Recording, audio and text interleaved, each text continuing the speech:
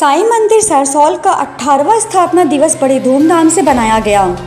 अलीगढ़ साईं मंदिर में 18वें स्थापना दिवस पर भव्य कार्यक्रम हुआ। दो वर्ष पूर्व स्थापित नवदुर्गा मंदिर का भी दूसरा स्थापना दिवस बड़े ही धूमधाम से बनाया गया। पूरे मंदिर परिसर को रंगीन झालरों, गुब्बारों सुगंधित फूलों से सजाया गया।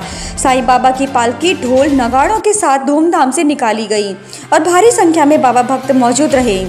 भक्तों के जयकारों से गूंजा मंदिर परिसर मंदिर परिसर में भजन संध्या का कार्यक्रम भी हुआ, जिसमें प्रसिद्ध साई भजन गायक श्री मनोज शर्मा ने अपनी वाणी से भी भक्तों का मन मोह लिया।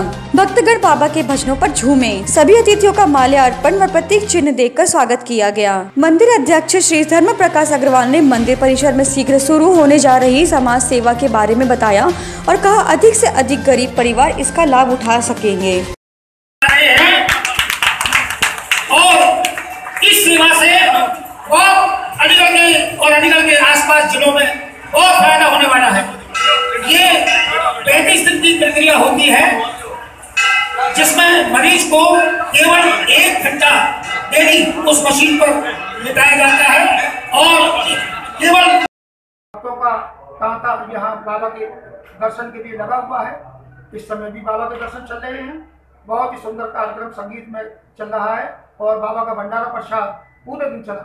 ये सिद्धपीठ है, मंदिर श्री साईं बाबा सारसौल जहाँ पर भक्त अपनी पुकार लेकर आते हैं और बाबा उनकी सारी मुरादें पूरी करते हैं। ओम साई राम ओम साई स्थापना दिवस है।